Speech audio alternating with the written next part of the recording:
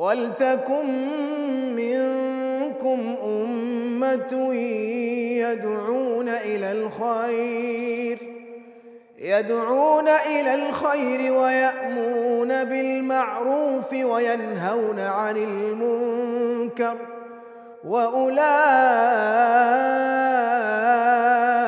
هم المفلحون. السلام عليكم ورحمة الله وبركاته، بسم الله الرحمن الرحيم، الحمد لله رب العالمين والصلاة والسلام على نبينا محمد وعلى آله وصحبه أجمعين، أما بعد.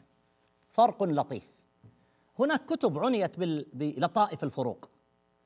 كتب بشكل مباشر اسمها لطائف الفروق وهناك كتب لا عنيت في المفردات لكنها ذكرت الفروق بين المتشابهات. واللغة العربية يا أيها الكرام كما يقول أهل الاختصاص من أهل العلم ومن أهل اللغة ليس فيها مترادفات مطلقة وهذا من مما يدل على ثراء هذه اللغة العربية. ليس فيها مترادفات مطلقة. تعال وهيت كلها تعني تعال لكن تخ...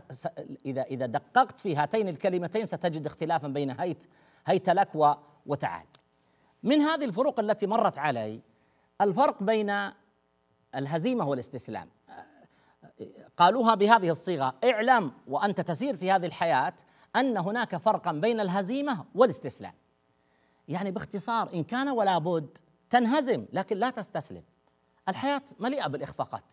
ولا يوجد أحد على الإطلاق مشى على وجه هذه البسيطة من البشر وصل إلى النجاح إلا وقد أخفق. لابد النبي صلى الله عليه وسلم حسم الأمر. كل ابن آدم خطاء وخير الخطائين التوابون. لكن في أحد يخفق ويبقى حيث أخفق يسقط ويبقى حيث سقط وأحد لا يقوم ويحاول المرة بعد الأخرى حتى ييسر الله سبحانه وتعالى له النجاح. آخر آية في سورة العنكبوت والذين جاهدوا فينا لنهدينهم سبلنا. فالله سبحانه وتعالى يحب العبد الذي يحاول ما يحب العبد الذي يستسلم. أما الهزيمة فهي فهي أمر لا بد منه بين الحين والآخر. النبي صلى الله عليه وسلم وهو النبي الموحى إليه المؤيد من الله سبحانه وتعالى بالمعية الخاصة والمعية العامة والملائكة وما يعلم جنود ربك إلا هو يحصل له أحيانا بعض التعثر. فمثلا يضربه الأعداء ويصلون إليه ويحاولون قتله. بل قتلوا بعض إخوانه من الأنبياء. حصل بعض الارتباك في في غزوة أحد. ومع ذلك كانت النهاية للنبي صلى الله عليه وسلم. اذا يا أيتها الأخت الكريمة يا أيها الشاب وأنت تحاول تحاول تكتسب صفة جميلة تحاول في عمل في وظيفة في حياتك. ستخفق بين الحين والآخر. المهم ألا تستسلم. تنهزم؟ نعم تنهزم. ما الفرق بين الهزيمة والاستسلام؟ الهزيمة هو التعثر لكن ما ألقيت السلاح. ما تركت المحاولة. ما زلت أحاول وسأعيدها مرة ثانية وثالثة ورابعة حتى أتقن وحتى أصل إلى مرادي. الاستسلام المشكلة هي عدم المحاولة. الاستسلام هي هي المشكلة في في أني ألقيت السلاح. أسألك لما تعلمت سياقة السيارة هل عرفت تقودها بإتقان في أول مرة؟ في أول مرة ضحك الناس عليك وضحكت حتى حتى على على نفسك. لكنك لكنك تعتبر نفسك للتو بدأت ومن الطبع أنك تخطئ في البداية. وبعد ثلاثة أسابيع واربعه أسابيع كنت في البداية إذا أردت أن تغير لابد أن تنظر.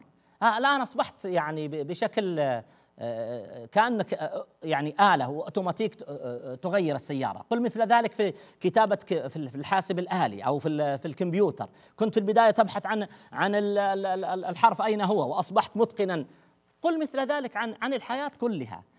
لا مانع من أن تهزم فالهزيمة لا بد منها بين الحين والآخر، المهم ألا ألا تستسلم.